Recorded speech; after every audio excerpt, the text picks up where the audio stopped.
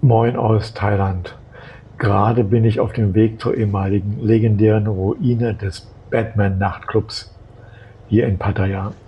In den 90er Jahren, also 1990er Jahren, war es einer der bekanntesten Nachtclubs in Pattaya, dessen Thema von dem DC Comics Superhelden Batman inspiriert war. Die Ruine befindet sich in der Nähe vom Big C, direkt hinter der Esso-Tankstelle in einer kleinen Säue nach ein paar hundert Metern kommst du direkt auf das sechsstöckige Gebäude. Heute liegt der alte Nachtclub in einem verlassenen und verfallenen, manchmal gespenstischen Zustand.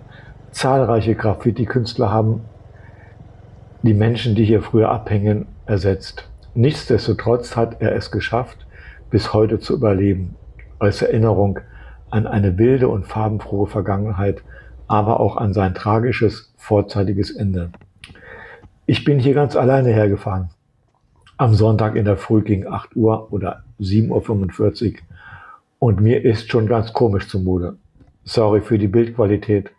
Lass dich von der Stimmung einfangen. Keine Musik und keine weiteren Kommentare von mir. Und schau dir unbedingt auch den Abstieg an. Der ist echt gruselig. Viel Spaß und über einen Kommentar würde ich mich auch freuen.